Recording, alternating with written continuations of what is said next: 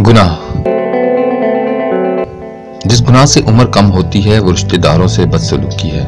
जिस गुनाह से इंसान पर लानत होती है, वो झूठ है। जिस गुनाह से पकड़ आती है, वो जुल्म है। जिस गुनाह से रिस्क बंद हो जाता है, वो जना है। जिस गुनाह से चुपना या फरार होना पड़ता है, वो कत्ल है। जिस गुनाह पर पर्दा फाश हो जाता है, वो नशा है। गुनाह से नेमतों का जवाल आता है, वो तकबर है। इस वीडियो को ज़्यादा से ज़्यादा शेयर कीजिए। इस तरह की मजीद वीडियो देखने के लिए हमारा यूट्यूब चैनल अभी सब्सक्राइब कीजिए।